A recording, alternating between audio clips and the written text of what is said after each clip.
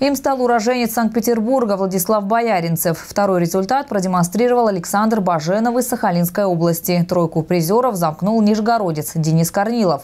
Многократный чемпион России Дмитрий Васильев пропустил соревнования из-за травмы колена.